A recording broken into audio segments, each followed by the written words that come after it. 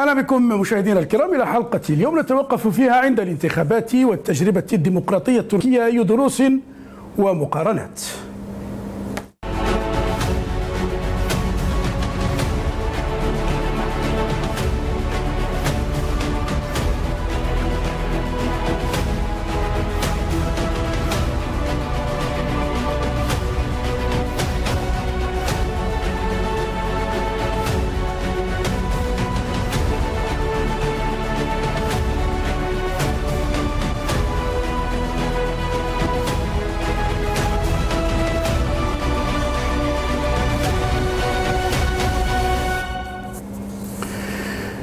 وسط متابعات إقليمية وليس من المبالغة القول عالمية جرت الانتخابات التركية أمس لم يكن هذا يحدث قبل عشرين عاما. كانت تركيا وبرغم كل الأبعاد والأوزان التاريخية والجيوستراتيجية رقما يكاد يكون هامشيا في المعادلة الإقليمية فما بالك المعادلة العالمية؟ لكن المشهد تغير جذريا خلال عقدين في بلد كان العنوان البارز فيه حكم العسكر وانقلاباتهم. تحولت تركيا إلى رقم كبير في المعادلة الاقتصادية والجيوسياسية والصناعات العسكرية حتى عالميا. أصبحت تركيا وكما يظهر مع انتخاباتها وتجربتها الديمقراطية بكل ما عليها محط الأنظار العالمية. انتخابات مفتوحة مفتوحة كما ظهر أمس ومشاركة قياسية فقط.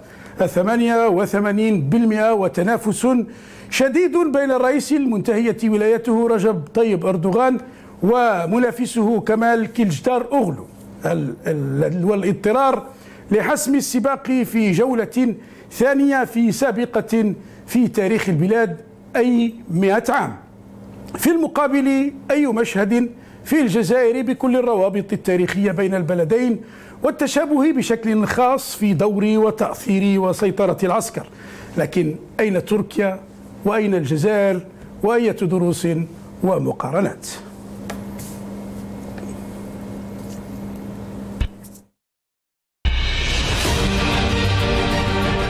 انتخابات رئاسية مفصلية شهدتها تركيا بمشاركة قياسية بلغت نحو 89%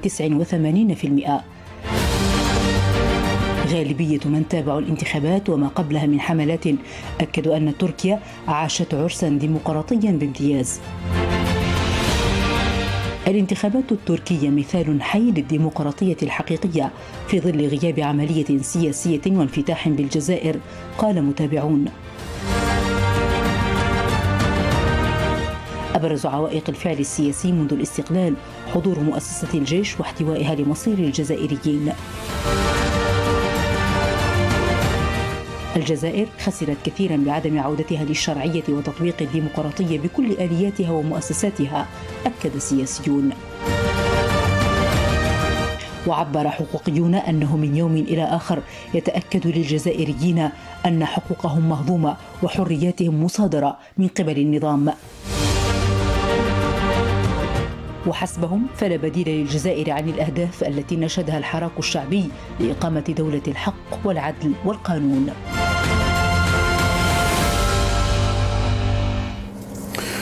معنا في الاستوديو عبد الله النس المحلل السياسي وعبر خدمة سكايب من هولندا عبد الله الرافعي الذي عاش في تركيا وهو مقيم الآن في هولندا ومن الجزائر محمد الداوي أمين عام حزب الكرامة وعضو لجنة الشؤون الخارجية بالبرلمان الجزائري سابقا. عبد الله انس تتابع المشهد التركي منذ سنوات.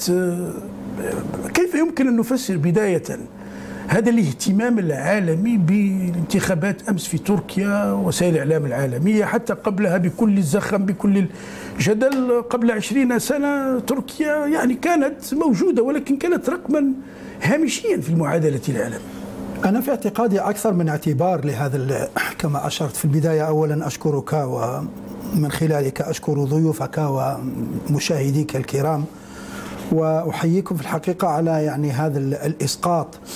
يعني لهذه الدروس ولهذه العبر ولما يمكن أن يستفاد أو ينعكس ايجابا على التجارب الديمقراطية في البلاد العربية والعالم الإسلامي عموما وعلى وجه التحديد يعني في المنطقة المغاربية والجزائر بشكل اخص.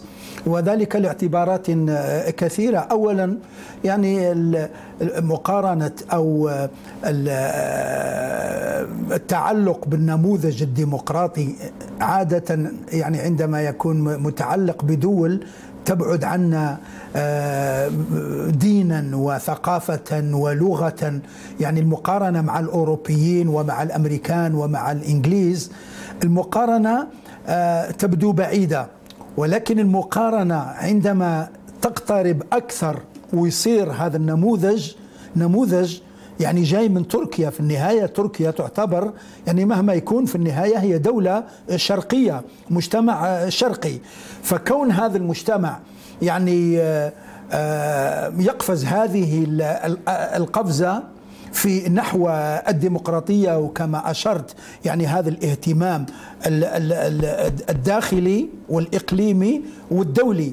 أكيد بلا شك تأثيره أو إغراؤه سينعكس مباشرة على المجتمعات العربية وخاصة المجتمع الجزائري مثل ما جاء في تقريرك اللي هو أصلا تربطه يعني روابط تاريخية فيه تداخل حتى كثير من الأغذية من الألبسة كثير من الأسماء حتى آه، دغري وكلمات من يعني فيه تداخل آه، حضاري. حتى مسجد كتشاوى يعني هو أصلا يعني آه، زاد يعني لما رمم أردوغان الآن الانفتاح الشعب الجزائري على تركيا وخاصة في العشر سنوات السنوات الماضية أصبحت يعني يعني قبلة مفضلة مقارنة ب يعني لا تقل عن فرنسا وعن غيرها مما يدل على أن التأثير هذا سوف ينعكس على الجزائر. أيضا الشبه آخر اللي هو هناك شبه أيضا بين الجزائر وبين تركيا فيما يخص آه، قضية تدخل العسكر في الشأن السياسي. لو لو تلاحظ يعني تقريبا الجزائر استقلت في 62 تركيا يعني آه، مرت بخم من سنة 60 مرت بخمس انقلابات آه، فشلت المؤسسة العسكرية في أربعة وأخفقت في, في, في الخامس. يعني الأول كان سنة ستة سنة 60 والذي أدى إلى إعدام عدنان مندريس رحمة الله عليه ووزير خارجيته وبعض السياسيين الذين كانوا معه. الانقلاب الثاني كان في 71 الانقلاب الثالث كان في 80 الانقلاب الرابع كان على أربكان في سنة 97 عندما حل حزبه كذا. لكن الانقلاب الخامس يعني منية المؤسسة العسكرية بخسارة. وذلك لأن الشعب التركي تدرج في قضية تذوق ما معنى الحرية ما معنى الفصل في السلطات ما معنى وحتى يعني لعلك تلاحظ أن الذين هم الآن يعني آه، المعركة بيناتهم يعني شديدة بين آه، كمال إلشتار آه، أوغلو يعني الفارق يعني ضئيل ضئيل جدا بينه وبين أردوغان تحس وكأن النقلة الديمقراطية على مستوى كل الأحزاب على مستوى كل الأعراق بدأ الجميع عندما يعني يخير بين عودة العسكر وبين استمرارية الحياة الديمقراطية رأينا في في 2016 في جوي الانقلاب وما زلت أنا أذكر الكلمات يعني التي ألقاها يعني نحن مستعدون ان أن ندفع أبها يعني أثمان باهظة من أجل الحفاظ على ديمقراطيتنا هذا تصريح كان خطير من كل الطبقة السياسية وحتى على رأسهم يعني طيب. مما يعني دلالة واحدة وهي أن الأبعاد التركية رغم أنها تجربة فتية يعني أنت تتكلم على 15 20 سنة يعني يعني تجربة أردوغان وحزب العدالة. يعني ما هيش 100 سنة ولا 150 سنة كالحضارات أو الديمقراطيات العريقة بريطانيا وفرنسا وكندا وغيرها. تتكلم على 10 15 سنة. لكن يعني يعني مش معقول نقله نقلة رهيبة. لكن تركيا يعني في التسعينات فقط كانت الأنظار مثلا في المقابل في متابعة انتخابات مفتوحة ولو كانت انتخابات تشريعية كانت في الجزائر مثلا. أردوغان لم يكن رقما أي. في المعادلة أصلا مثلا وهذا ما طبعا اتجاهات. هذا ما أردت يعني في التسعينات مثلا. هذا ما أردت أن أجيبك عليه يعني في, في, في هذا من طبيعي شيء طبيعي.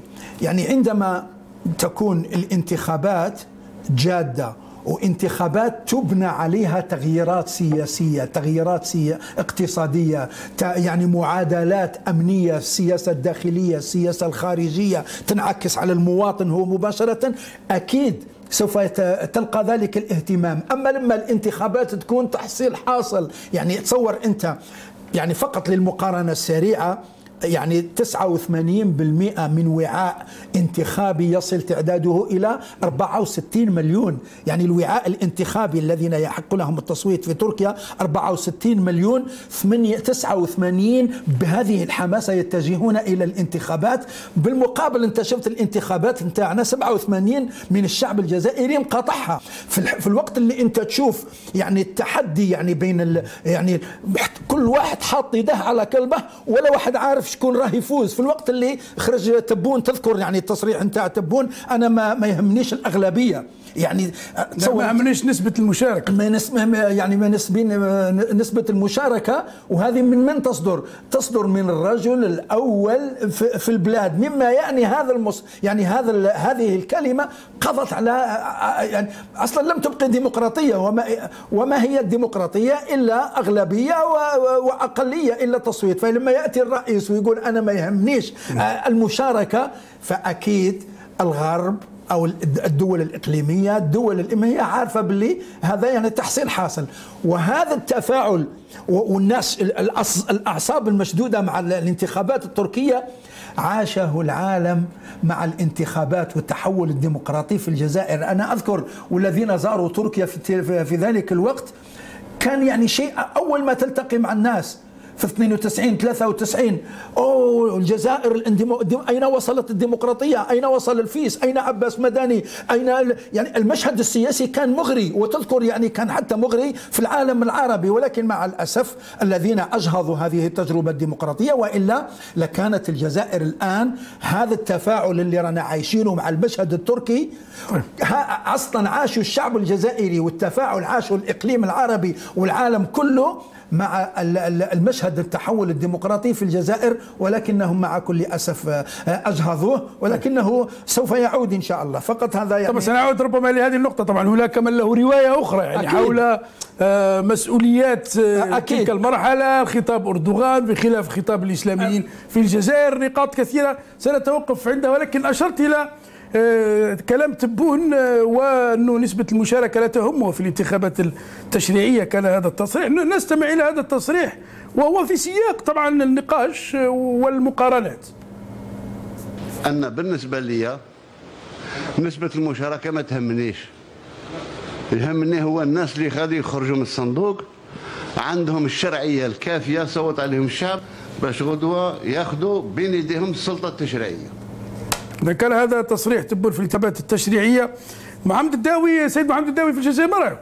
هذا ليس مهما نسبة المشاركة بينما عبد الله أنس يقول الفرق في تركيا نسبة المشاركة 88 قاربت 89 بالمئة وأجواء انتخابية مفتوحة لم يعرف الفائز ولم تحسم حتى الآن سيتم المرور إلى دور ثاني في المقابل مشهد جزائري فيه ما فيه وتعرفه ويعرفه الجزائريون. بسم الله الرحمن الرحيم. والصلاة والسلام على أشرف المرسلين. تحية ليك أخي جمال ولكل معاونيكم ولضيوفك الكرام ولكل من يتابعنا. فبالنسبة للموضوع المطروح اليوم يعني هو إحنا نراه في حزب الكرامة أنه موضوع من الأهمية بمكان. ولكن أقول أنه المقارنة قد لا تجوز المقارنة للأسباب التي سأذكرها. فبالنسبة آه، للظروف آه، التي كانت فيها الديمقراطية في الجزائر أو أو إقرار التعددية في الجزائر تختلف عن آه، تركيا. ففي 89 لما أعدت أو أقرت الديمقراطية في الجزائر مباشرة تلك الديمقراطية أرهضت ودخلنا في عنف من عدة أطراف. عنف لفظي عنف باستلاح تطرف حتى في آه، بعض الرجال اللي كانوا في الحكم وبالتالي مشينا لعنف أجهض تلك العملية. فنعتبر أن الديمقراطية في الجزائر يعني رغم مرور أكثر من 30 سنة ولكن للأسف لا زالت يعني آه، وليدة اليوم لا زالت يعني تحبو. وبالتالي ف آه، أنا أنا من الناس اللي كانت لي الفرصه أنني زرت تركيا. آه، كعضو لجنه الشؤون الخارجية زرت تركيا ودعني أعطي معلومة ربما كثير من الناس ما يعرفهاش انه البرلمان التركي هو أموال البرلمان التركي هو هدية من الجزائر.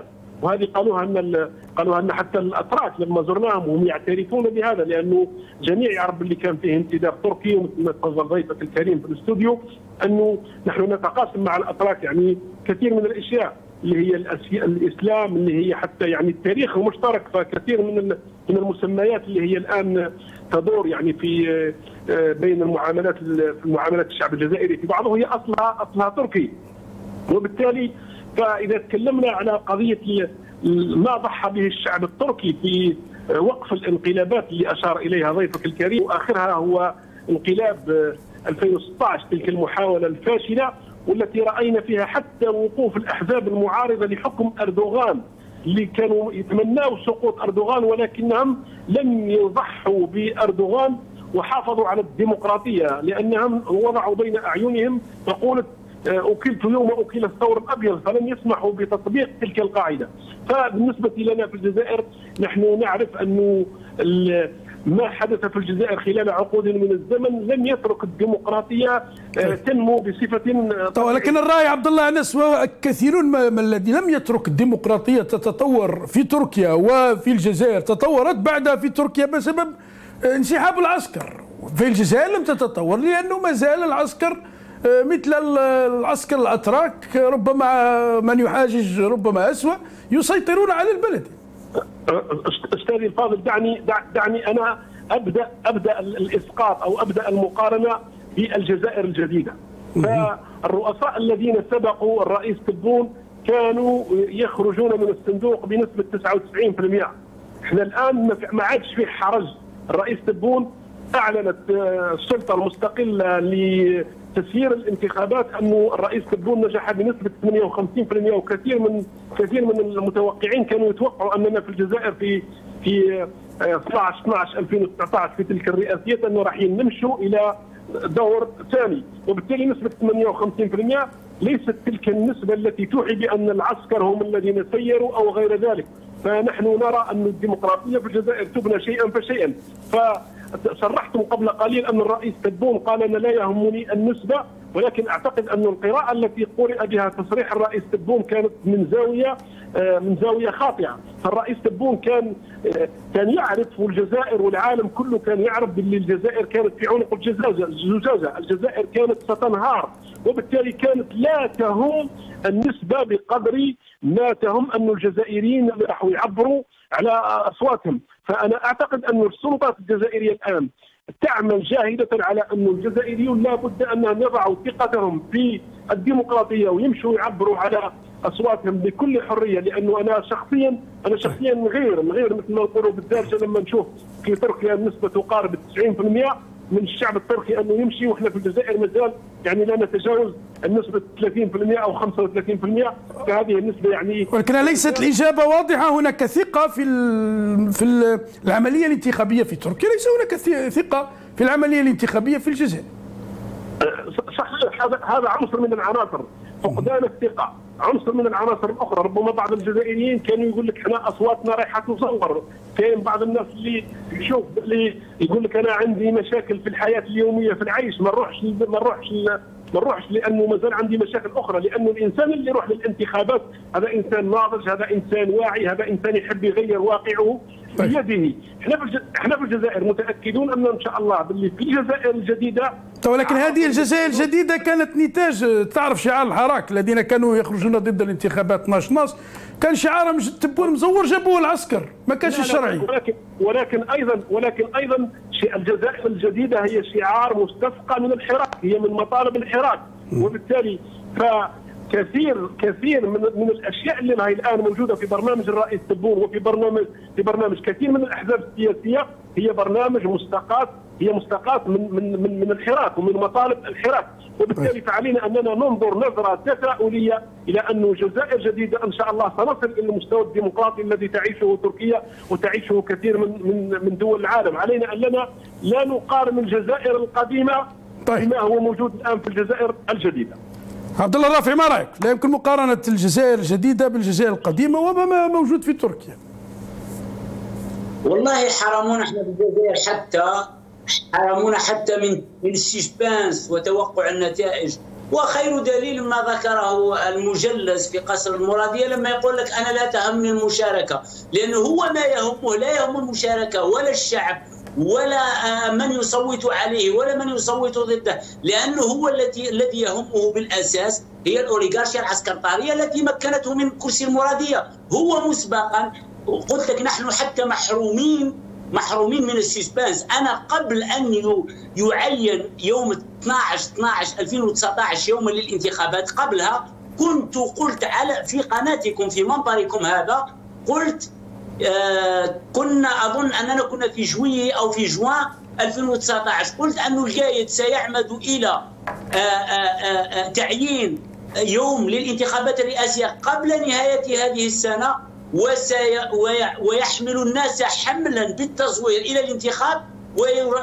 ويقدم للناس آه، بعض الدهماء من المرتبطين بالعصابة وعلى رأسهم. تبون وسيتم تجليسه رغم إرادة الجميع وكانت يعني أكبر ضربة التي تمثل الثورة المضادة الحقيقية. الآن السؤال الهام والمحوري الذي لابد أن نسأله وهو ربما أنا يعني اقتبسته من عنوان برنامجك ما الذي خسرته الجزائر ببقاء العسكري في السلطة جاثمين على رقاب العباد وما الذي ربحته تركيا من تحولها الديمقراطي بعد أن يعني قطعت علاقتها نهائيا مع حكم العسكر. هذا السؤال لابد أن يطرحه الجميع يطرحه المواطن على نفسه والأحزاب السياسية على نفسها. نقول لك أكثر من هذا حتى الفنانين والأدباء حتى الرياضيين. اليوم بالمناسبة في في في في نهاية هذا الشهر هناك نهائي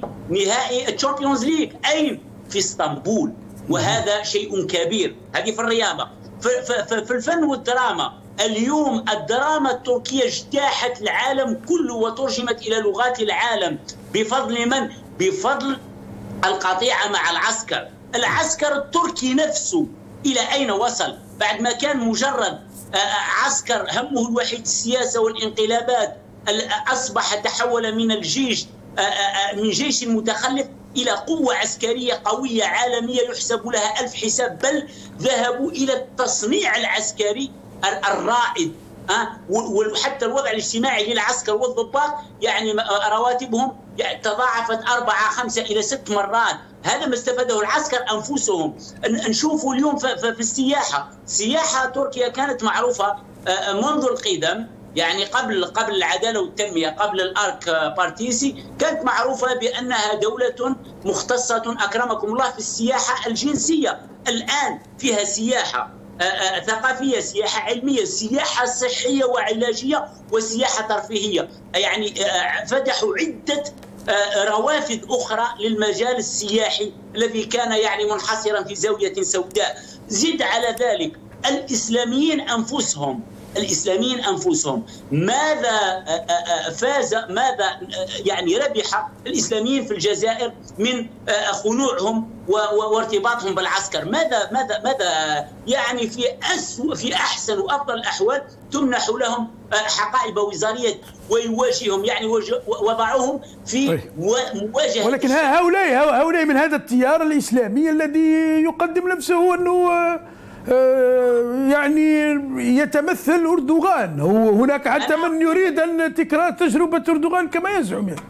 أنا أقول لك لماذا هذا أردوغان قطع على كان متماهيا مع أفكاره مع برامجه مع كان سياسيا لا يرضى أن يكون يعني أحد نعال العسكر بخلاف الإسلاميين في الوطن العربي كله. في الوطن عندك العدالة والتنمية في المغرب وعندك حزب النور في مصر وعندك حزب الاخوان إخوان الأردن كلهم. لأنهم أصبحوا الإسلامي في الوطن العربي فرض عليه فرضا. إما أن تذوب في الآخر وتفقد كل خصوصياتك وتصبح يعني ديكور. لما تشوف أنت حزب اللي يمثل رأس الإخوان المسلمين في الجزائر وما أدراك ما الإخوان، الإخوان المسلمين اللي هم كتنظيم عالمي أقدم من 90% من الأنظمة العربيه ولكن هؤلاء الإخوان المسلمون بالعكس يتمثلون أردوغان. عبد الله أنس يعني هؤلاء مثلا في الجزائر الإخوان المسلمين سأعود إليك.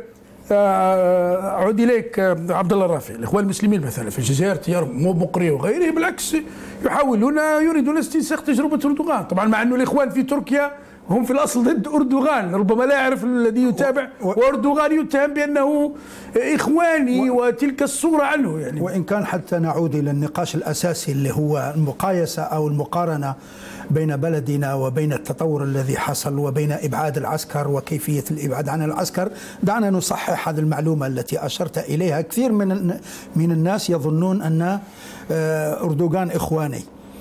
وفي حقيقة الأمر أن الحزب الرسمي للإخوان المسلمين في تركيا هو مع كمال آه، يعني اللي هو الأستاذ الأستاذ الدكتور وهو على المستوى الشخصي رجل فاضل اللي هو أخونا الدكتور آه، كرم الله اللي مع يعني في في السودا في الطاولة في السداسيه فهذا يعني للتصحيح. يعني أردوغان بالمعنى الرسمي للإخوان يعني هما ضد أردوغان الآن في الحملة الانتخابية وحتى أخذوا له يعني من وعائه الانتخابي المفروض واحد بالمئة هو أصلا يكون لأردوغان ولكن لأنهم هما ضد أردوغان هذا الواحد بالمئة ليس لصالح أردوغان لكن ليس على لكن ربما التشابه مع الحالة الجزائرية أنه كنت تشير للتسعينات نعم. هناك من يقول ربما الفرق كذلك في نجاح أردوغان أو في نجاح تركيا عموما وربما حتى تجاوب العسكر أن الخطاب مختلف. خطاب أردوغان حتى وأن يوصف بالإسلامي المحافظ يختلف عن خطاب الفيس مثلا في التسعينات.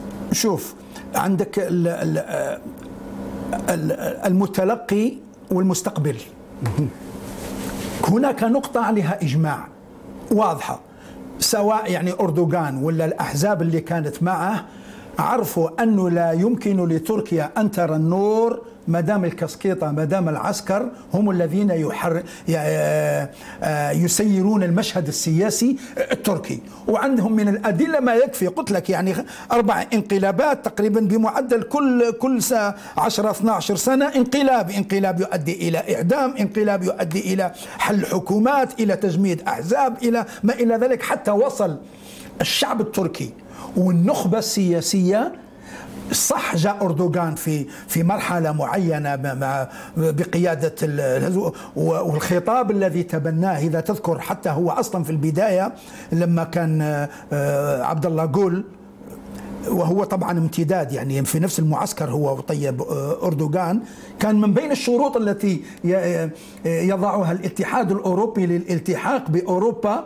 هو أن يكون العسكر خارج اللعبة السياسية. فهم كانوا يعني يعني يركزون على هذه النقطة وأغروا بها كثير من المواطنين الناخبين على أساس لا يمكن أن نلتحق بأوروبا إلا إذا كان لبينا هذه الشروط. من بين هذه الشروط استقلالية العداء حرية التعبير أن يكون العسكر خارج اللعبة السياسية. كون أردوغان قراءته تختلف عن قراءة ربما الإخوان في مصر ربما أشرت أنت إلى الفيس مبكرة في التسعينيات ربما قضية يعني الشعارات الإسلامية ربما أو الدولة الإسلامية وكذا هذه تختلف من مكان لآخر لكن الإجماع الذي لا يمكن أن يكون عليه اختلاف هو أن لا يمكن لأي دولة أن ترى النور ما دام العسكر هم الذين طيب. وهذا الذي أصبح فيه إجماع إذا لعلك تتابع التصريحات ما يقوله خصوم أردوغان في أردوغان وعلى رأسهم كمال أغلو. يا أخي كلام كلام لا يطاق يعني كلام شديد جدا. ولكن عندما جاءت 16 2016 في جوية في الانقلاب تذكر ذاك التصريح نتاعه هو وغيره من, من نحن مستعدون أن ندفع ثمنا باهظا. يا ريت نتمنى بما اننا طبعا في التسعينات في الجزائر كان هناك كان هناك تيارات. أيت أحمد الذي كان ضد الفيس ماهري كانوا ضد انقلاب العسكر في 92 ولذلك شوف يعني حتى لا تستطيع تظلم يعني التسعينيات. يعني في التسعينيات كان فيه الذي رفض الانقلاب وكان جزاؤه الحصار. والذي لبى مطالب الانقلاب واصطف إلى الانقلاب وكان مسار مساره أو نتيجته أنه فتحت عليه الجزائر. ولا يختلف في ذلك. يعني مانيش عارف يعني هل يا ترى إحنا لا نريد أن نقف عند جلد الذات في الأمور التاريخية، نحن الآن أمام مشهد وهو أكثر استلهاما وإسقاطه على الوضع الجزائري للاعتبارات يعني مربط الفرس في القصة هي حكم العسكر سيطرة العسكر تأثير العسكر في المقارنة بالحالتين الجزائرية وزيد نقول لك حتى معلومة أخرى أخي جمال. يعني ربما مقاربة أخرى قد قد يكون الانتقال الديمقراطي في الجزائر مع العسكر أسهل بكثير من الانتقال الديمقراطي في تركيا. أقول لك لماذا؟ لأن المؤسسة العسكرية يعني في, في تركيا كانت مؤسسة علمانية لائكية يعني هي ليست حتى يعني أتاتورك اعتمد اللائكية العلمانية يعني المعادية للدين. تعرف أتاتورك؟ وقف الأذان بالعربية وقف الأتراك يذهبون إلى الحج منع العمامة منع يعني وآخرها النائبه هذا الإشكال الإيديولوجي بين الشعب الجزائري وبين المؤسسة العسكرية لأن أنت تعرف المؤسسة العسكرية في الجزائر هي خليط يعني على وطني على بقايا يعني نفس الثورة الجزائرية وكذا. وبالتالي عمرها ما كانت المؤسسة العسكرية في الجزائر عندها مشكل مع اللحية ولا مع الحجاب ولا مع بعض الإسلاميين يكونوا يعني ليست خصمة إيديولوجية لائكيه ولكن ربما الفرق بالنسبة للمقارنة في التسعينات عبد الله. الفرق أنه أنه أردوغان تشير إلى أتاتورك ظل يحترم اتاتورك ويحتفل ب آه، في في ذكراه. عندما ذهب إلى مصر وسئل في موضوع العلمانية في عود علماني مرسي قال أنا في عود مرسي رحمة الله عليه قال أنا علماني. أردوغان الذي طبعا سجنه العسكر في التسعينات عندما ألقى قصيدة شبه فيها الثكنات بالمساجد نعم طبعا أيه. وهذه القصة. معروفة. ربما. من يقول هنا الفرق يعني هناك العسكر ولكن ما مسؤولية مثلا الإسلاميين؟ ولذلك ولذلك أنا أشكركم هذه الوقفة اليوم يعني ليس بالضرورة يعني هذا الشخص أو ذاك أو هذا الحزب أو ذاك هو ما يقوله هو الحق المطلق. نحن بشر في النهاية. ربما واحد تسرع في تصريحات واحد استعجل الثمرة واحد ما مانيش عارف يعني كيف تبنى التراكم نتاع الأمم من هذه من هذه الثغرات من هذه الأخطاء. كيف نبنيها؟ نحن الآن أمام مشهد فيه نقطة مجمع عليها أن تركيا ما رأت النور ما رأت الخير إلا لما انزوى العسكر عن المشهد السياسي. الآن الوصفات التي قدمت للوصول إلى هذه النتيجة أردوغان رغم أنه إسلامي يقول لك أنا مانيش إسلامي أنا ما زلت علماني محافظ على ال poster نتاع آه، نتاع أتاتورك في كل المكاتب الرسمية. آه، في نفس الوقت يعني بعض العلمانيين كانوا يبكون أول ما خرجت مرت عبد الله عبد الله جول الرئيس الأول. بعض الناس كانوا يبكون. معقول القصر الجمهوري فيه امرأة متحجبة ما كانوش قادرين يتحملوها وبالتالي فيه زلزال حدث. حتى في حزب آه، آه، كليجدار اللي هو حزب آه، اتاتورك تغير الخطاب كان ضد الحجاب واعتذر كليجدار ولذلك لجذب الناخبين ولذلك نقول المعركة لم تعد بالمعنى الإيديولوجي الاصطفاف الإيديولوجي. أنا قرأت يعني بيان موقعينه بعض العلماء هم ربما بنية حسنة وحتى ما همش أتراك لاعتقادهم أن المعركة معركة آه، آه، إيديولوجية. في حين هي ما هيش معركة إيديولوجية. أردوغان نفسه في مؤتمره الصحفي قال أنا جيت بآليات الديمقراطية. وإذا كان الآليات الديمقراطية هي التي آه، ستنهي يعني وجودي في المشهد السياسي فمرحبا بالآليات الديمقراطية. فإذا هي الشعوب تستفيد من بعضها. الهدف الأساسي هو أن كيف يتحول هذا الإلهام؟ كيف يسقط هذا؟ الآن النتيجة حتمية لا يختلف عليها اثنان. ما دام العسكر في المشهد السياسي لا يمكن للديمقراطية أن تنمو طيب ما رأيك سيد محمد الداوي؟ هذا ما يقوله عبد الله الناس وما يقوله عبد الله الرافعي وما تقوله الشواهد وما يقوله كثيرون. طبعا أنت تكون تقول بأنه لا يمكن المقارنة ولكن أليست هذه آه هذا هو جوهر المقارنة؟ يعني في الحالتين التركية والجزائر. أستاذي الفاضل آه، في الحقيقة يعني آه، ضيفك في الأستوديو آه، كفاني كثير من الكلام اللي رايح نقوله أنا السؤال اللي تحب نطرحه على الأسطوانة التي التي تتكرر دائما في الجزائر يعني اللي هي تقول حكم العسكر. أنا مانيش عارف يعني هذا الإخوان والمتابعين والناس اللي يتكلموا على هذا الموضوع. كيف يثبت الجزائريون انه ماهمش العسكر اللي راهم يحكموا؟ إحنا معليش إذا كان قلنا وقع في التسعين نهاية التسعين وقع قال انقلاب وبقياده عسكريين والأمر أصبح الآن معروف ودفع الرئيس آنذاك رحمة الله عليه دفع إلى الاستقالة فالأمر هذا مقبول لأنه كان فيه أمر آه، آه، قال راحوا للعنف وكذا ولكن ما هي مظاهر الحكم العسكري الآن؟ أنا لما نتكلم فقط صح بالفعل في الوقت السابق كانت فيه كانت فيه الانتخابات والصناديق تبقى في السكنة لمدة ثلاثة أيام يعني صناديق متنقلة وكان يفعل فيها ما يفعل فيها. هذا الأمر انتهى. الآن العسكر في الصناديق نتاعهم يروحوا ينتخبوا كيفهم كيما الناس يعني كيما المواطنين بلباس مدني. يجوا بال... يجوا بالحافلات أو يجوا بسياراتهم الخاصة ويجوا ينتخبوا. الناس ما تعرفهمش تماما.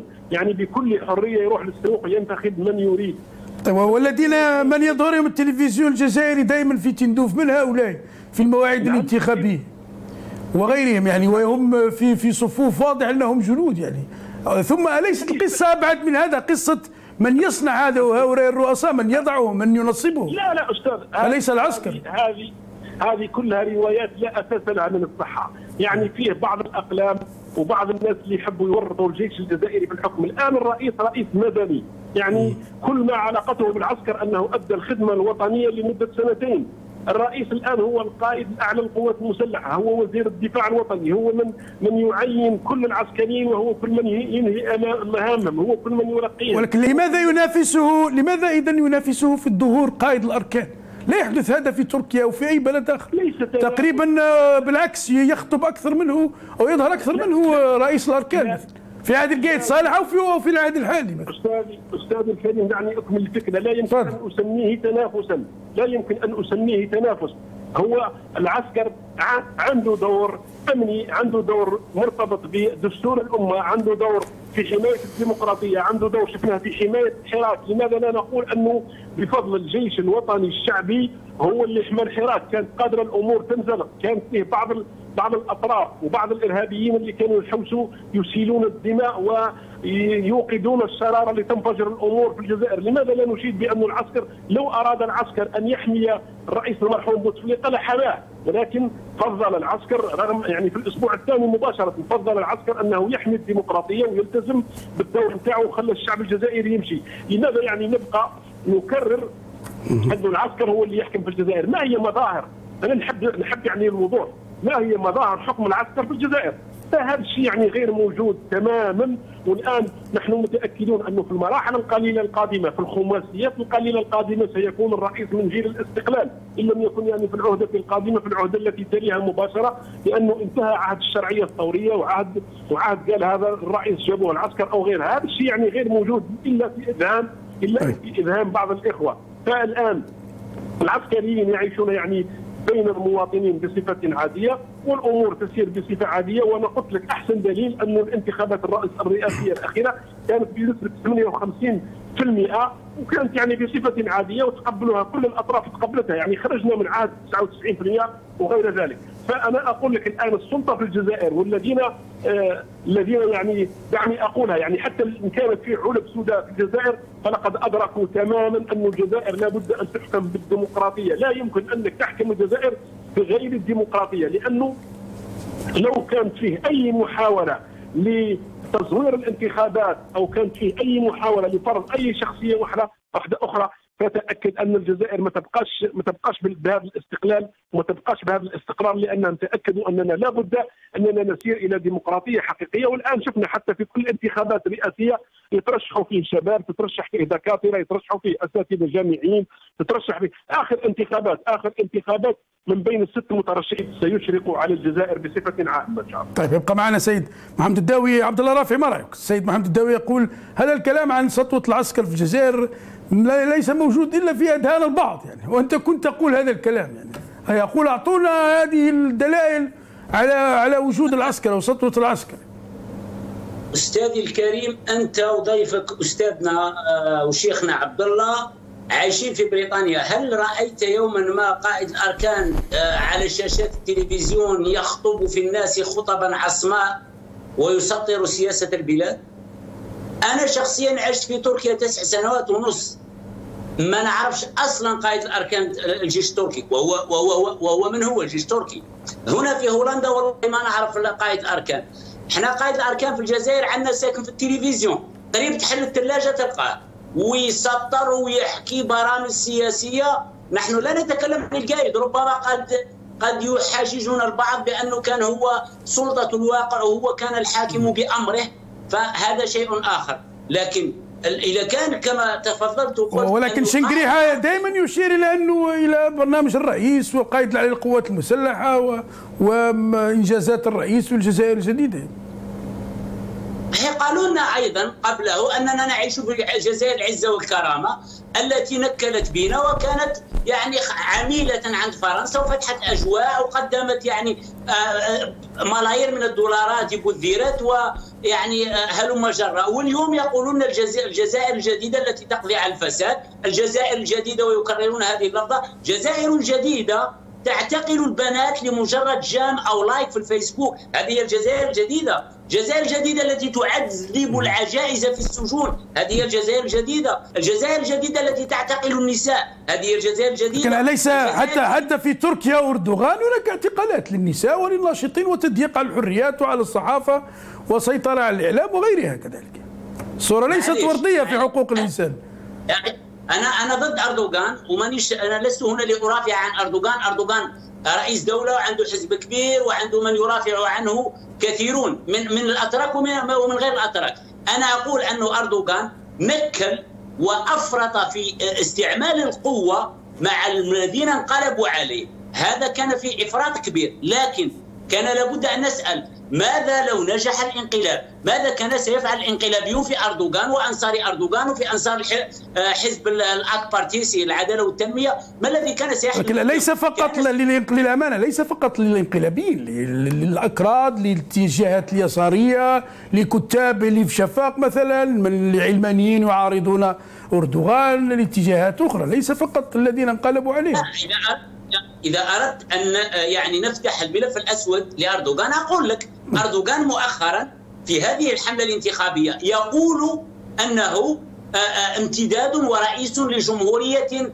لائكية وفق الأسس التي بناها عليها أتاتورك. هذا هذا ما يقوله.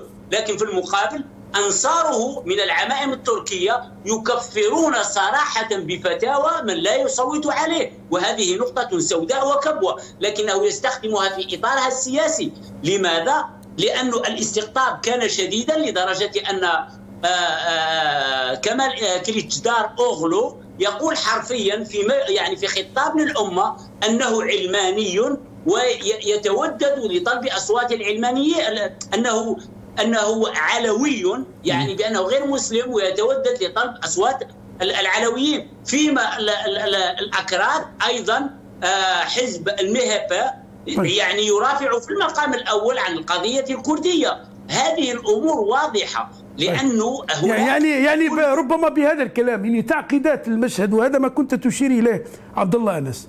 انه تعقيدات المشهد في تركيا أكثر من الجزائر. هذا هو يعني الجزائر المفروض يعني تناغم شعبي الجيش الشعبي يعني الوطني يعني في النهاية هم أبناء الشعب يعني من فيه تجانس مع كثير يعني وليس هناك هذه التحديات الموجودة في يعني تركيا. من ناحية الإسقاط ما يحدث في تركيا هذه التجربة الفتية تاع 15 ولا 20 سنة وشوف وين وضع تركيا.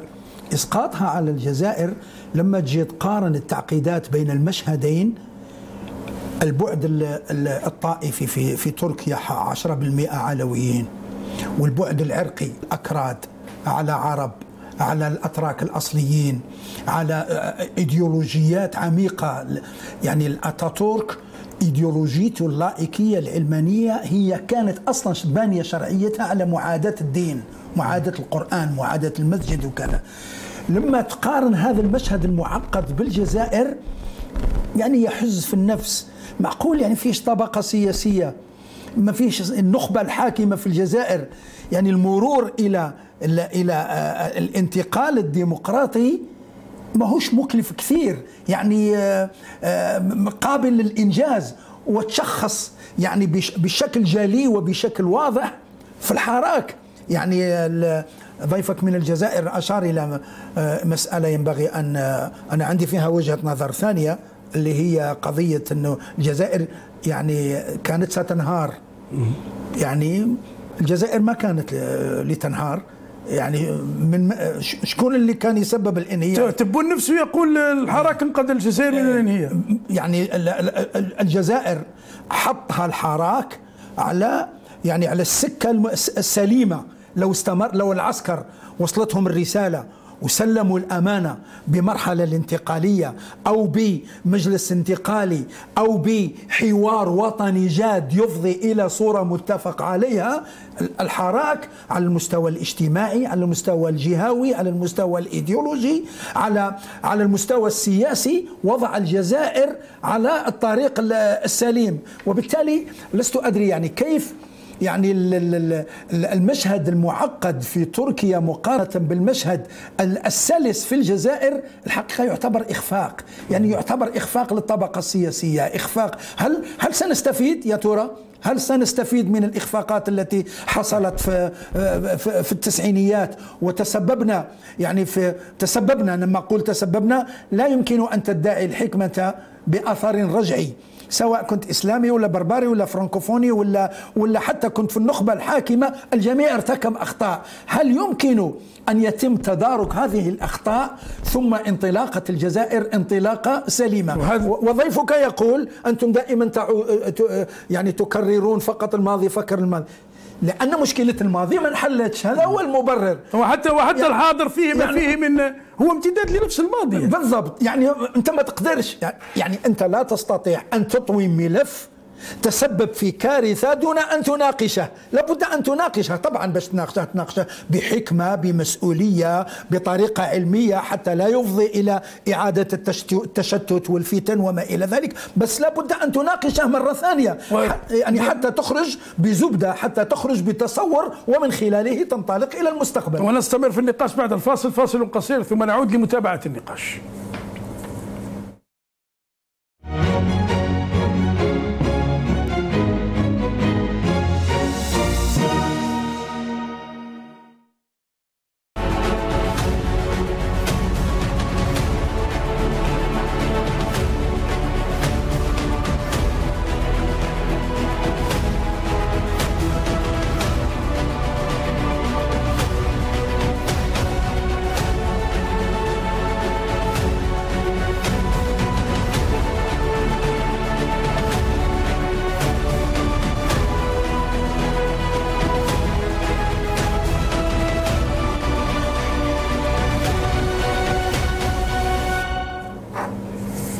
أهلا بكم مجددا مشاهدينا الكرام إلى هذه الحلقة. نتوقف فيها عند الانتخابات والتجربة الديمقراطية في تركيا. أي دروس ومقاربات ممكنة مع الجزائر في المشهد الجزائري في المقابل بكل الروابط التاريخية بين البلدين والتشابه بشكل خاص في دور في دور وتأثير وسيطرة العسكر. لكن أين تركيا وأين الجزائر؟ وأية دروس ومقارنات آه، أمام هذا المشهد الانتخابي وهذا المشهد الديمقراطي آه، في تركيا. نسمع ما يقوله في المقابل تبون عن آه، تركيا البلد العظيم والمحسود. إن شاء الله سayın duvarına تركيا تركيا صديقة. Türkiye bizim dostumuz. أنا أعرف أن تركيا دولة عظمى biliyorum Türkiye çok büyük bir devlettir. ومحسودة على ذلك Ve onun için kıskanıyoruz da biraz. Türkiye'yi çok iyi. سيد محمد الداوي تبون يقول لي وزير خارجية تركيا لما استقبله في الجزائر. عرف أنه دولة تركيا دولة عظيمة ومحسودة. أردوغان لما جاء إلى تركيا جاء وراء بوتفليقة. بوتفليقة وصل في 1999 أردوغان وصل الحكم 2003 توفرت مليارات لبوتفليقة وللجزائر للنظام الجزائري. لأنه نفس النظام يستمر. 1500 مليار دولار كان يتباهى عمار سعداني مثلا ويحيى أردوغان لم تكن له تلك الإمكانيات. ما زالت تركيا تستورد من الجزائر الغاز. بعد 20 سنة صار الأتراك لاعبون مؤثرون في الجزائر ويتحدثون عن استثمارات بالمليارات ومصانع. وغيرها. أليس هذا مشهدا محزنا؟ ويقول هذا التبون بهذا التباهي يقول هذا الكلام دولة محسودة آه، ودولة عظيمة. أستاذ أستاذ جمال آه، دعني أقول أنه لا أحد ينكر المجهودات والقفزة النوعية التي قفزتها تركيا في عهد الرئيس أردوغان. فبعد ما كانت يعني في ربما يعني في مرتبة متأخرة أصبحت اقتصاديا في المرتبة ال 16 وأنا كان لي الشرف كنت من بين النواب اللي كنا في المجلس الشعبي الوطني اللي خطب المجلس الشعبي الوطني اللي خطب فيه خطب فينا الرئيس أردوغان. وعرفنا يعني ما هي الأسباب اللي خلات تركيا أنها تقفز ولا أحد ينكر هذه القفزة بكل المعطيات. ولكن أنا قلت في بداية حديثي وفي بداية تدخلي لن تجوز المقارنة بين تركيا والجزائر لعدة أسباب. كان الإخوان تكلموا على قضية العسكر ويخطبون في التلفزيون وغير ذلك. فليست نفس الظروف. إحنا الآن إحنا حدودنا يعني كلها حدودنا يعني منغمة. ومن الطبيعي أنه قائد الأركان الجزائري لما يروح للسكنات يحسس القيادات العسكرية ويحسس المساعدين نتاعو بالاخطار اللي موجودة في الجزائر. طيب والله تمسكت نفسي لكي لا يقاطعك أستاذ محمد الداوي. رجاء يعني أنت تركيا الوضع في تركيا أخطر من الجزائر. صراع سوريا تمرد عسكري البيكاكا تحديات كبيرة عمليات إرهابية لداعش في قلب تركيا ليس كذلك. مهما تكن. مهما تكن التحديات الموجودة في تركيا ليست نفس التحديات الموجودة في الجزائر. إحنا في الجزائر لم نستقر حتى عشر سنوات حتى عشر سنوات لم نستقر في الجزائر سواء في مشاكلنا الداخلية أو في المشاكل التي يسببها الجيران نتاعنا، أنا من حقي انني من حقي أنني نرد على الكلام اللي كنت نسمعه ولكم أن تحكموا وللمتابع اللي تابعنا في الشعب الجزائري أو غير الجزائريين انهم أنهم يتبعوا. الأخ عبد الله أنس تكلم على قضية قال لماذا يعني العسكر ما سلموش الحكم إلى المدنيين المشكل من جديد لأن القوانين صيغت على المقاس. للأسف دعاة المرحلة التأسيسية والمرحلة المرحلة الانتقالية في 2019 كانوا يحوسوا يعاودوا يكرروا نفس التجربة في الجزائر وتساغ قوانين من جديد لتسير الجزائر لمدة 30 سنة ونبقى في نفس الدوامة. فالجيش الجزائري وعبد القادر بن صالح رحمة الله عليه وكل من كان يسير الجزائر في تلك المرحلة التزم بالشرعية والتزم بالدستورية ورحنا لانتخابات رئاسية أفرزت الرئيس المنتخب. تبون؟ انما الآن يصلح في كثير من القوانين. للأسف كثير من الإخوان ما قدروش يتبعوا معنا أنه الآن فيه رزنامة من القوانين التي ينبغي أنها تصلح.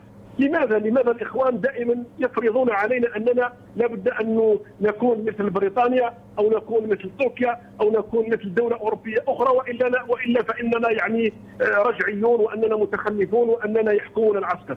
فنحن نعتقد انه الأخوين يعني عبد الله وعبد الله ضيوفك فأنا متشرف بلقائهم على هذه الحصة ولكن أقول لكل بلد آه، ظروفه ولكل بلد ما يعيشه شعبه. نحن نعرف أننا تأخرنا كثيرا يعني كحزب الكرامة في الجزائر نعرف أننا تأخرنا كثيرا في إصلاح الوضع وأن الشعب الجزائري تحمل كثيرا من من من الأثقال التي كان ينبغي أنه يتخلص منها. وكنا نتمنى أننا نكون كتركيا ونربح الوقت ولكن الحمد لله الآن إحنا في وضع جديد. من 2019 امورنا راهي تسير بخطى ثابتة لإصلاح الوضع، تكلمتم على قضية أنه اللي يقول كلمة في الفيسبوك اللي يقول كلمة في الفيسبوك يسجن، فاخي علينا أننا نفرق بين حرية التعبير اللي رانا نتكلم معك أنا الآن في حصه وغير شاب على ما أعتقد اسمه الداوي من ورقلة شاب من البطالين سجن مؤخرا، هل شتم هذا الشاب؟ لقبه نفس لقبك أستاذ محمد اسمه الداوي ربما تعرفه نعم. أصلا ربما من العائلة. نعم. ولكن ولكن علينا أننا نتجه علينا أننا نتجه إلى العدالة ونشوف لماذا هذا لماذا هذا السجن سواء هذا الشاب أو غيره من شباب الجزائر. هل تعرف هل تعرف بالمناسبة نفتح قوس هل تعرف قصته لماذا سجن شاب يقال أنه ناشط في في شباب البطالين هذه القصة وما في أستاذي الفاضل أستاذي الفاضل أنا علينا ان أنا أنا لست محل العدالة لي محل محل العدالة لأقول لماذا؟ لماذا سجن الشاب هذا؟ أنا أتكلم بصفة عامة ولا أريد أن أشخص. أنا أقول أنه من من آه، أوقف بسبب المطالبة بحقوقه المشروعه بطالة أو غير بطالة فهو مظلوم والعدالة ستبرئه، أما من يستعمل من يستعمل صفة الصحفي أو حرية التعبير وهو يسب ويشتم وقد تكلم السيد رئيس الجمهورية في ندوته الأخيرة قال إحنا ما عندنا حتى الذين بالعكس الذين كانوا يشتمون تبون يعني من القنوات كانت حاضرة في لقاء تبون مع الصحافة. هذه القنوات كانت تهاجم تبون بصلته مع الأتراك في الانتخابات الرئاسية لما كان وسيلي بوعزه يحرك الخيوط ويريد فرض عز الدين ميهوبي بينما القايد صالح كان يريد وضع تبون كان يهاجم تبون لو تذكر في تقارير النهار وقنوات أخرى ويتهم بصلاته مع الأتراك ومع رجال أعمال اتراك وال وال والكلام موثق يعني. أستاذي الكريم أنا أقول لقاء الرئيس تبون مع أكثر من 400 صحفي وإعلامي في اليوم العالمي لحرية التعبير تحسب له رغم باللي فيه ناس انتقدوه وناس يعني يتكلموا فيه ولكن رغم ذلك مد لهم يده وأنا أعتبر انه تلك يعني ضربة معلم مثل ما يقولوا قام بها الرئيس تبون وتقابل مع هؤلاء وسمع منهم. طيب الآن تبون يقول بهذا الانبهار دولة عظمى ومحسودة. ما الذي ينقص الجزائر تكون دولة عظمى ومحسودة؟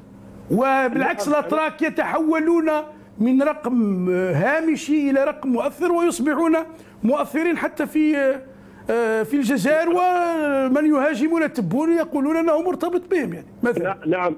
أستاذ جمال أستاذ جمال الرئيس تبون لما يقول يعني تركيا دولة عظمى ومحسودة يعني يقولها بأي عقدة؟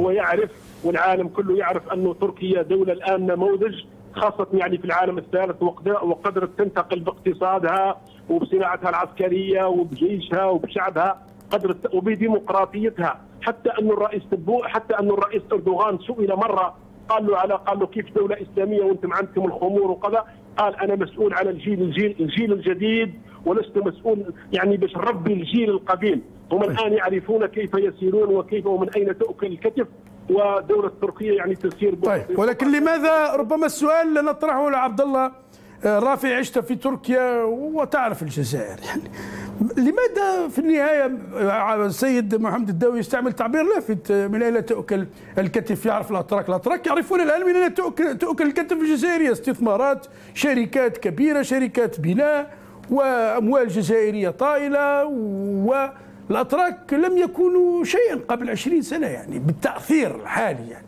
أردوغان جاء وراء بوتفليقة توفرت مليارات أنفقت في الجزائر.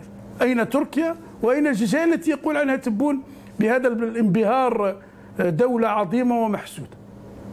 هناك سؤال سؤالك من شطرين. الشطر الأول لماذا الاستفادة الكبيرة أو فتح السوق الجزائري والتهافت على الاستثمار التركي داخل الجزائر؟ هذا سؤال.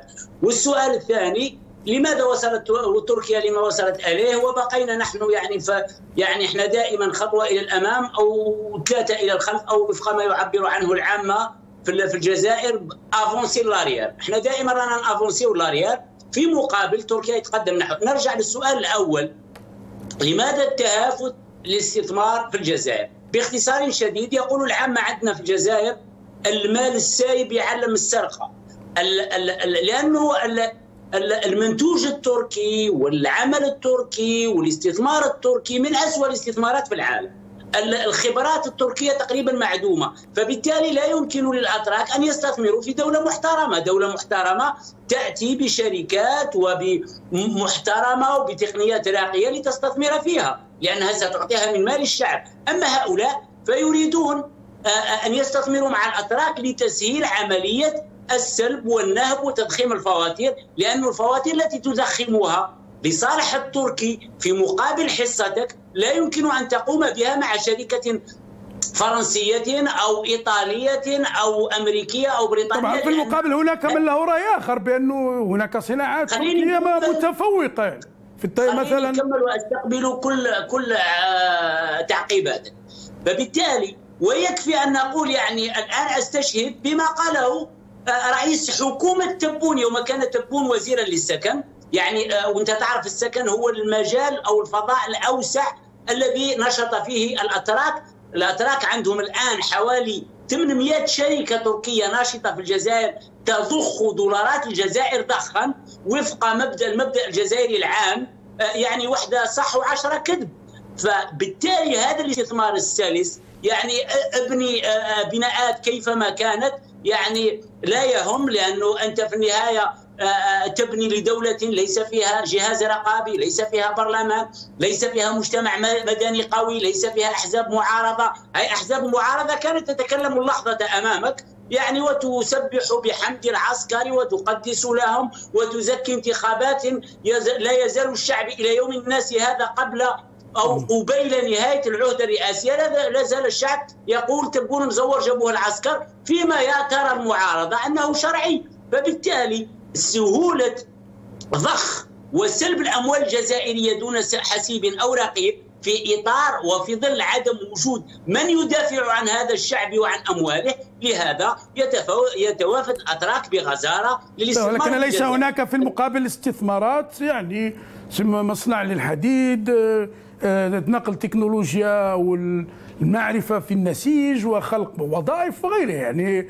آه، والكثير من النماذج الأخرى يعني بالعكس أكبر مستثمر بالعكس أردوغان آه، تبون أجاب على مجلة فرنسية لما سألته عن الحضور التركي في الجزائر قال ردا من يستطيع أن يستثمر أكثر من الأتراك. كان يقول أنه تركيا أصبحت أكبر مستثمر في الجزائر فليتفضل.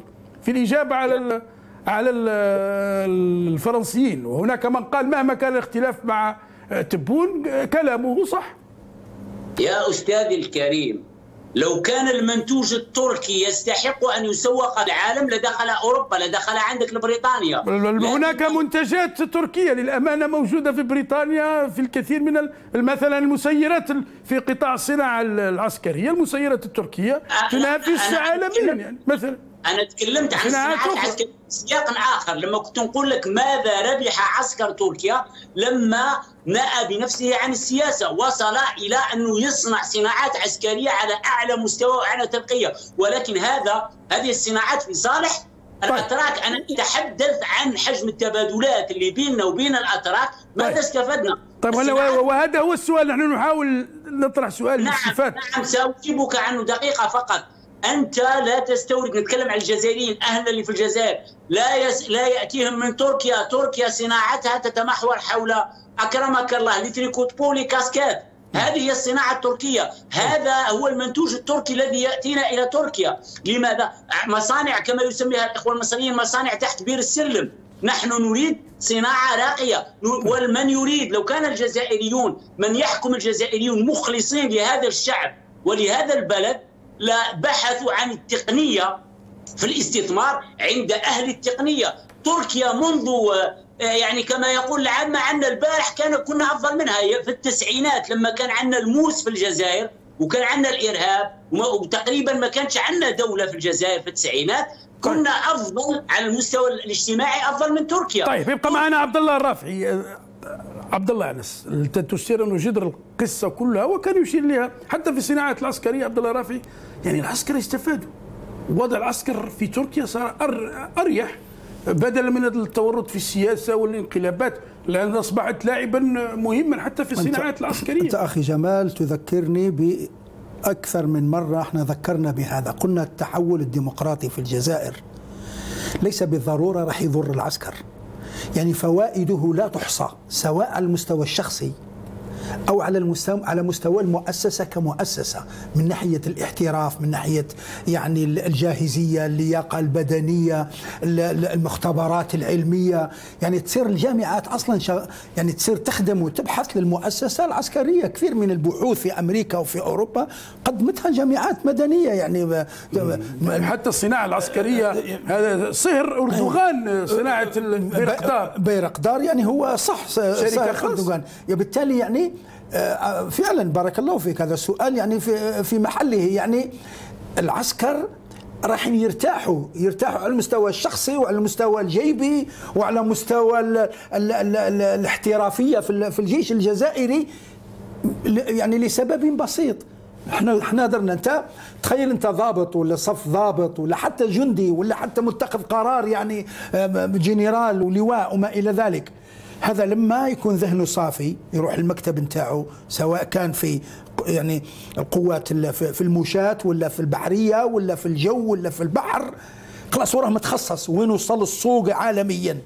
وين وصلت الدورات العسكرية؟ هذه أمريكا هذه روسيا هذه مانيش عارف هذه هذه الهند هذه البرازيل هكذا منفتح على كل التكنولوجيات العالمية لأنه خلاص خدمته ما عندوش لكن تصور أنت هذا الجنرال لما يولي لازم لنا إحنا نفرض الرئيس لازم لنا إحنا ندخلوا في العدالة لازم لنا إحنا ندخلوا في البلاطوات تاع التلفزيونات لازم إحنا ندخلوا في الصحفيين واش يكتبوا لازم إحنا ندخلوا في الفيسبوك لازم إحنا ندخلوا في الأحزاب لازم إحنا نشوفوا البرلمان هذا شكون يفوز ولا ما. هذا ما بقالوش وقت باش يولي احترافي. هذا ما بقالوش وقت باش باش يدير جيش مصنع جيش تكنولوجي ما يقدرش. وبالتالي مانيش عارف كيفاش مانيش عارف هل هناك يعني ناصح أمين؟ يا جماعة الحراك والتحول الديمقراطي بالعكس هو هيبة لكم هو تكميل لكم. وإذا ما فهمتوهاش بالنظري راه قدامكم العملي. يعني ربما قد يقولها سياسي نظريا. الآن راهي ثبتت عمليا. كل الدول وين كانت إسبانيا وين كانت البرتغال وين كانت غيرها. الآن ولا النموذج راه تحت اقدام يعني راه ولا جارنا درك النموذج راه درك ولا؟ من بلد مسلم. من بلد فقط قبل عشرين سنة كان أسوأ. معيشة وأسوأ اقتصادا وأسوأ كوربشن وأسوأ. شوف وين وصل لسبب واحد. هو أنه قال للعسكر شكر الله سعيكم. خليكم في سكناتكم شوفوا وين صاروا الآن. داخلين في, في هل تعلم أنهم في حتى في الحرب في أوكرانيا لهم اليد العليا؟ بسبب البيرقدار لا ويلعبون مع مع مع لا لا الناس الناس متوقفة غير عند الجيل تاع بيرقدار يعني قزل الما مازال ما يعرفوش راهي متطورة جيل متطور أكثر من بيرقدار الآن حاملة السفن. هذه كل الجيش شكون يصدق قبل 20 سنة. الجيش اللي كان غارق في الانقلابات وفي الكوربشن وفي الصفقات يولي بهذه الهيبة.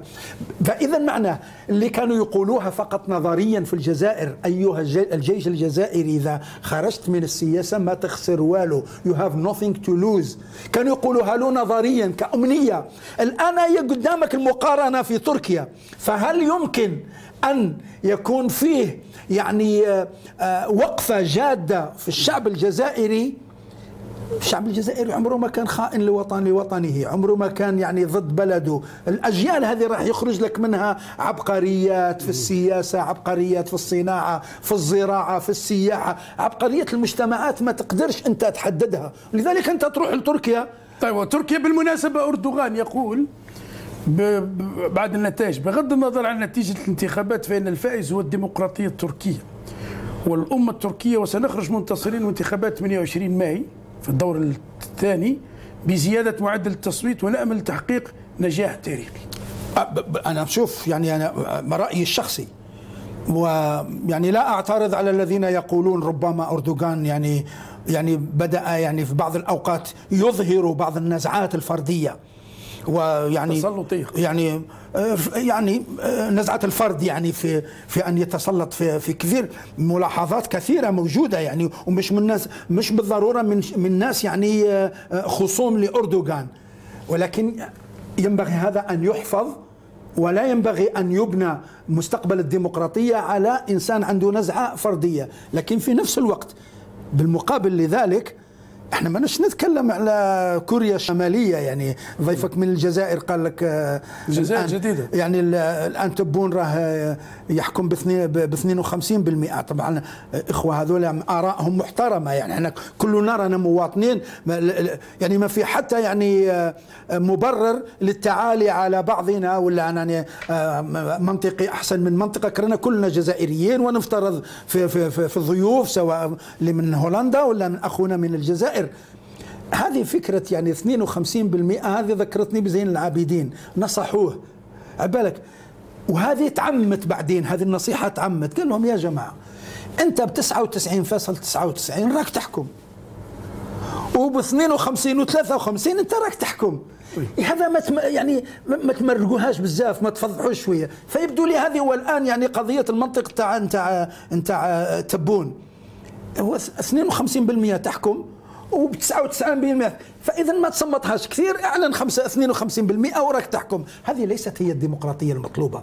ليست الآن أردوغان تصور إلى إلى إلى الصباح ما كانش عارف نفسه هو يصير رئيس ولا رايح يروح للدور الثاني طيب. كان بإمكانه خلاص يقول لك أنا الإعلام في يدي وأنا خلاص أنا أتصرف في الأمور كما أشاء لحد الآن حط يدها على قلبه ما راش عارف الدور الثاني يمر كمال ولا يمر يمر أردوغان هل بالله عليك جمال يعني والمشاهد الكريم هل هذا هو فعلا المشهد الديمقراطي طبعا. عندنا في الجزائر؟ خلينا نسمع سيد السيد محمد الداوي أنت تصير طبعا آه إنه لا لا لا وجه لمقارنة ولا تأثير ولا دور للعسكر في الجزائر، في المقابل العنوان اليوم في صحيفة الوطن التي استقبل مديرها آه تبون العنوان هو إيداع جنرال آخر قائد الدرك السابق عرار إيداع الحبس ليلتحق بأكثر من 30 جنرالا في السجن.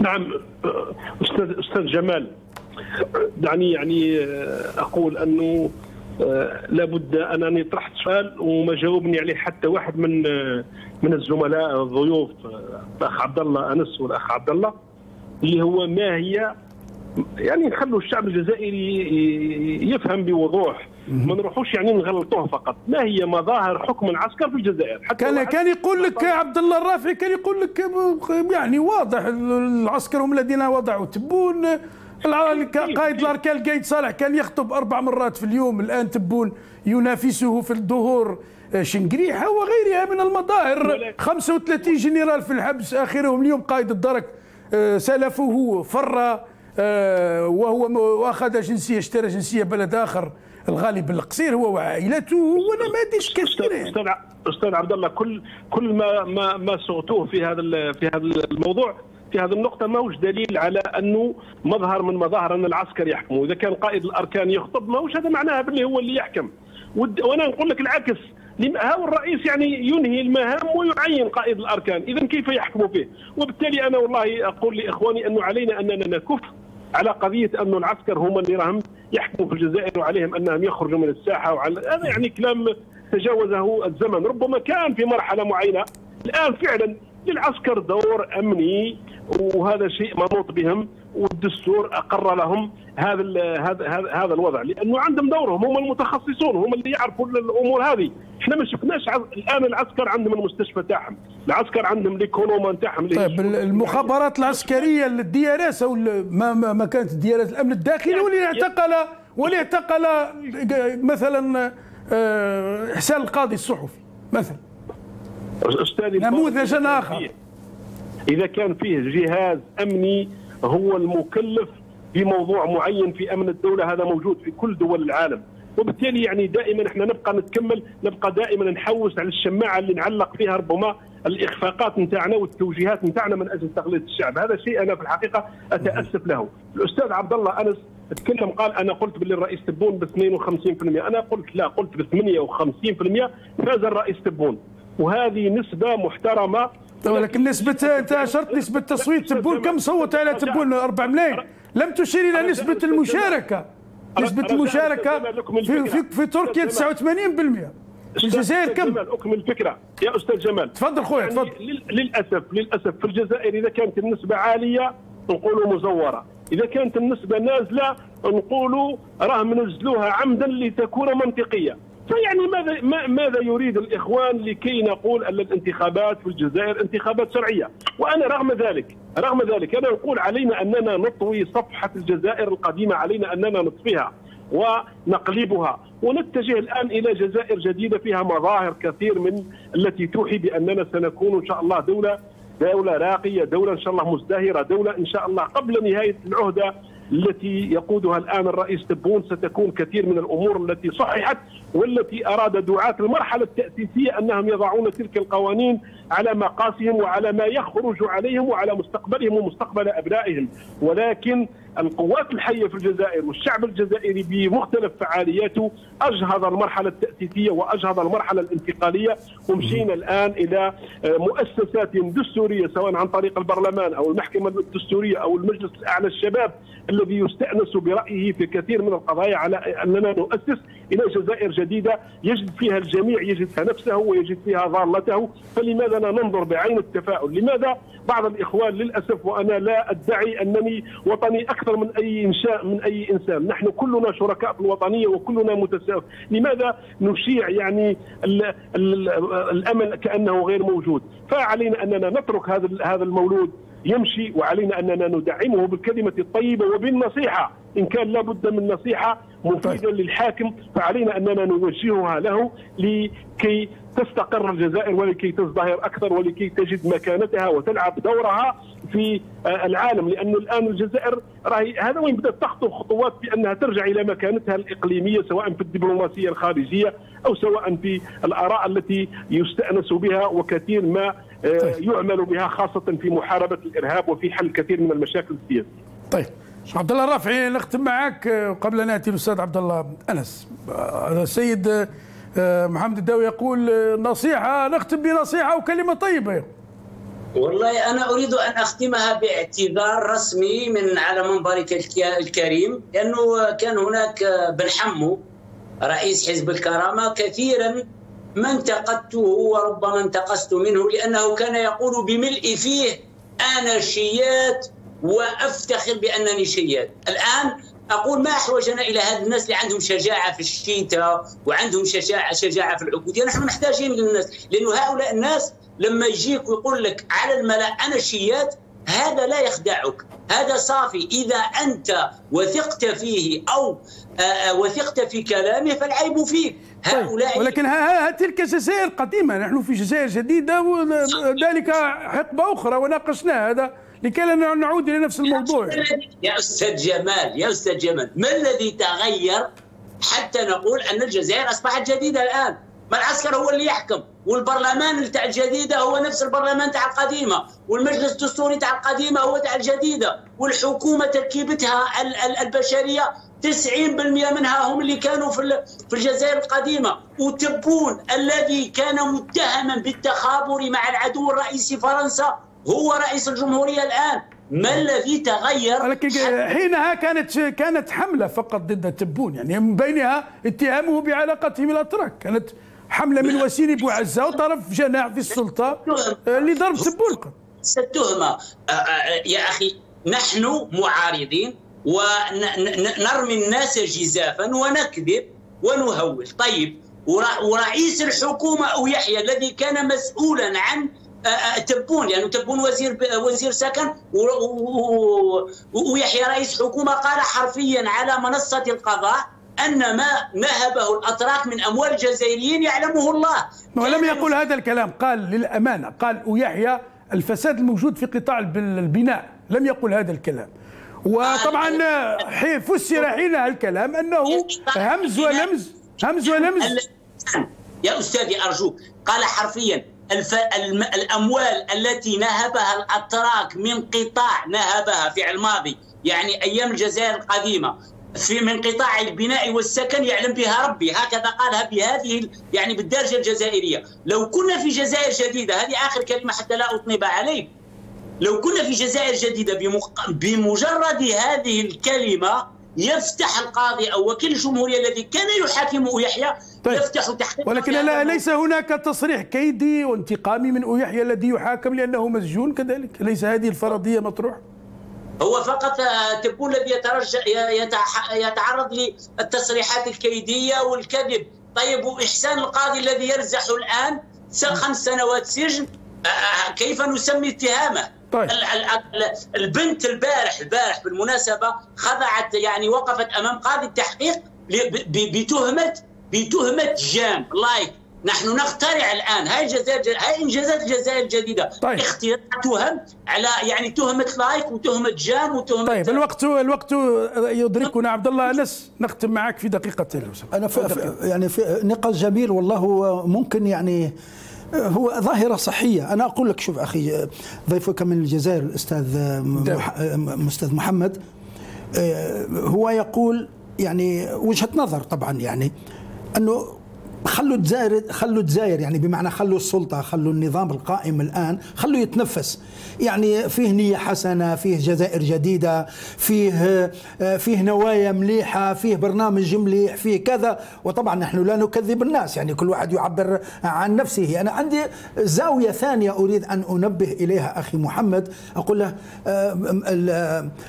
إيش اسمها؟ رئيسة الوزراء السابقة تاتشر عندها كلمة جميلة جدا تقول يقول اعطوني معارضة قوية أعطيكم حكومة قوية. أي بمعنى يعني كون المعارضة وكون الناس تنتقدك وكون الناس تواجه تواجهك والناس تكتب ضدك مش عارف من وين جاتنا هذيك العقلية هذا راه يضعف الدولة. هذا راه هذا راه يفريني في المشاريع. هذا راه يزيد في وتيرتها هذا راه يزيد في جديتها. علاش؟ باختصار باختصار. خليني نقول لك الآن وأنا أكبر يعني فيكم. أنا متأكد 100% صوت مغاير. شوف الآن في المغاربية أخونا محمد راه يتكلم. يتكلم ودافع على نفسه عنده الحق وأنتم راكم تبالغوا العسكر ما همش يحكموا وتبون راه رئيس وراه شرعي والجزائر كانت رايحة تنهار ولكن أنقذها آه، العسكر بالذهاب إلى الخيار الدستوري. وجهه نظر وطنية وراه يقول فيها وين؟ في في تلفزيون في الخارج. هل يمكن لإنسان عنده رأي آخر عنده قراءة أخرى للمشهد السياسي في الجزائر يظهر في التلفزيون الوطني؟ يظهر في الشروق يظهر في النهار؟ ويناقش الانتخابات ويناقش ويناقش الانتخابات ويناقش الانتخابات ويناقش حكم العسكر وكذا وكي يكمل الحصة يروح لداره سالم ما عنده حتى مشكلة. فاذا معناه كون المجتمع متحرك بالرأي والرأي الآخر بالمقالة والمقالة المضادة بالمظاهرة والمظاهرة المضادة بالمواقف السياسية بالحزب والحزب المضاد. هذا قوة للمجتمع هذه عقلية. وهذه التجربة نموذج ربما التجربة التركية بكل ما لها وما عليها. إيه؟ يعني أنت سألت سؤال في بدايتك راك في, في آخر الحصة أخي جمال. من وين جات الأهمية؟ نتاع هذا الاهتمام منقطع النظير بالانتخاب. لأن انتخابات يبنى عليها قرارات مستقبلية. علاش الجزائر حتى واحد ما سمع بها؟ علاش موريتانيا لا تقليل يعني من شأن الموريتاني حتى واحد ما سمع, ما سمع بها؟ لأنه تحصيل حاصل. يعني هو أصلا ما ما كانش تجديد. وبالتالي يعني حركية الشعوب حركية القوانين حركية الإعلام التبادل حركية المجتمع دائما يولد إنجازات يولد مشاعر وبالتالي يولد أهمية إقليمية وأهمية عالمية. والجزائر ما هيش بعيدة على تركيا لو تتوفر الإرادة السليمة والحرية للشعب الجزائري إن شاء الله. الحمد لله نسمح السياسي شكرا لك. محمد الداوي أمين عام حزب الكرامة وعضو لجنة الشؤون الخارجية بالبرلمان. الجزائري سابقا شكرا لك كنت معنا من الجزائر والشكر موصول كذلك لعبد الله رافي الإعلامي كنت معنا من هولندا. شكر موصول لكم مشاهدينا الكرام على حسن المتابعة وإلى اللقاء.